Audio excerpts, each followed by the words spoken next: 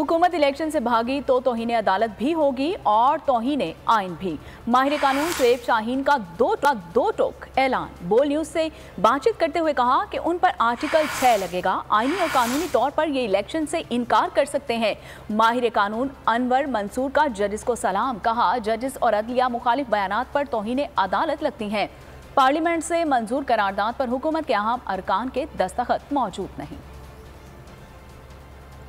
अब ये इनको वो क्या कहते हैं प्याज भी खाने पड़ेंगे और इलेक्शन में भी जाना पड़ेगा।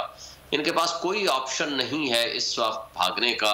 और जब ये भागेंगे तो ये तोहन अदालत में भी होंगे जाएँगे अंदर और ये तोहन आइन भी होगा। यानी आर्टिकल सिक्स का मुकदमा भी इनके खिलाफ। देखिए आइनी तौर पर नहीं कर सकते कानूनी तौर पर नहीं कर सकते। इसलिए तो मैं कहता हूँ ना कि ये जो करारदाद लाने की कोशिश हुई आर्टिकल सिक्सटी एट की वायलेशन है और क्योंकि आर्टिकल 68 कहता है कि कंडक्ट ऑफ़ द जजेस को आप डिस्कस नहीं कर सकते आइन में आइन के मुताबिक पार्लियामान के अंदर। पार्लियामेंट है। पार्लियामेंट के अंदर ये जो अभी पास हुआ है जिसमें के कुछ लोगों ने साइन किया है जो 50 परसेंट भी नहीं बनते हैं हाउस के। जब 50 परसेंट ही और सर आम पार्लियामेंटेरियन साइन किए ही नहीं है। जब गवर्नमेंट के लोगों ने साइन ही नहीं किया है वो समझते थे आर्टिकल 68 क्या कहता है कि आप ये बातें नहीं कर सकते। हैं मतलब वो रेजोल्यूशन तो कभी पास ही नहीं हुआ है। सही इसके ऊपर मुस्तकिल बातें की जा रही हैं। तो ये एक बड़ा अजीब और गरीब मामला जो है वो चल निकला है जो कि मेरी अपनी ज़िंदगी में से मैंने अपना होश संभाला है मैंने कभी नहीं देखा इसको तो नज़र आ रहा है सामने लिखा हुआ है जुल्म मिटने के लिए। दो चीज़ों से मिटेगा भाई।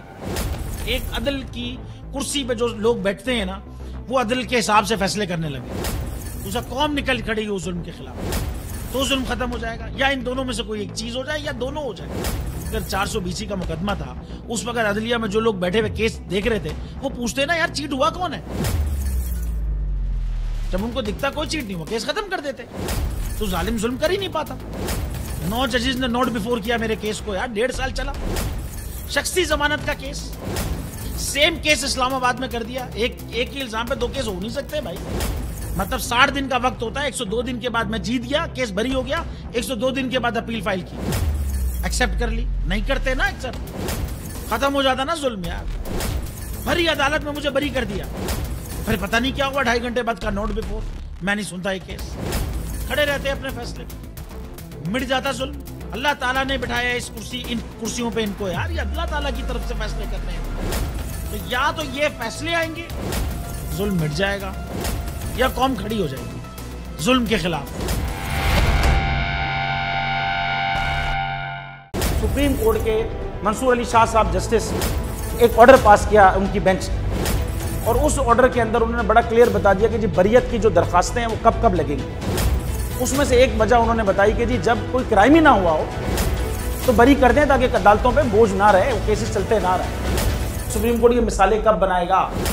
ऐसे लोगों के खिलाफ जो इस तरह की एफ़ काट रहे हैं, वैसे ऑफिसर्स और ऐसे लोग जो इस तरह के केसेस को जजेस चला रहे हैं।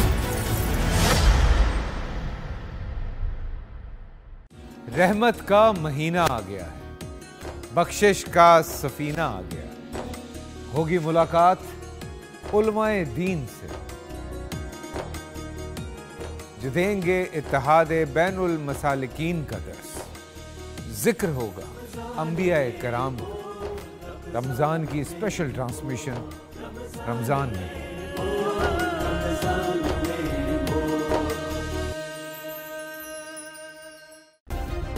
सब्सक्राइब करें और बेल दबाएँ ताकि कोई खबर रह न जाए।